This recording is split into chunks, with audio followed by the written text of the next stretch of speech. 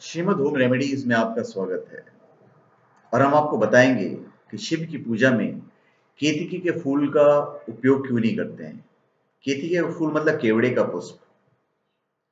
हिंदू धर्म में देवी देवताओं की पूजा में सुगंधित फूलों का बड़ा महत्व है।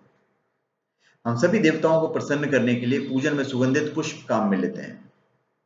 पर क्या आपको पता है कि शिव जी की पूजा में केतकी के फूल का प्रयोग वर्जित है?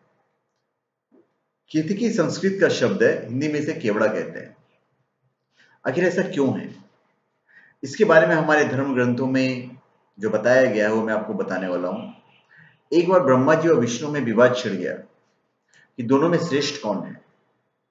ब्रह्मा जी सृष्टि के रचयिता होने के कारण श्रेष्ठ होने का दावा कर रहे थे और भगवान विष्णु पूरी सृष्टि के पालन कर्ता के रूप में स्वयं को श्रेष्ठ कह रहे थे।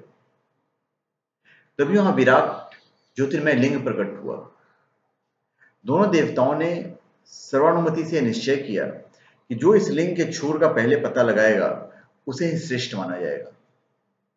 अतः दोनों विपरीत दिशा में शिवलिंग का छोर ढूँढने निकले। छोर न मिलने के कारण विष्णु जी लौट आए। ब्रह्मा जी भी सफल नहीं हुए, परंतु उन्होंने आकर विष्णु से कहा कि छोर तक पहुँच गए थे। उन्हें केतकी के फूल को इस बात का साक्षी बताया।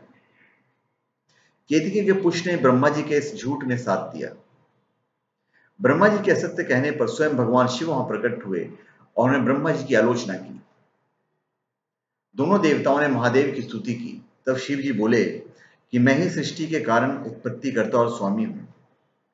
मैंने ही तुम दोनों को उत्पन्न किया है। शिव ने केती की पुष्प का झूठे साक्ष्य देने के लिए दंडित करते हुए कहा कि फूल मेरी पूजा में उपयोग नहीं किया जाएगा।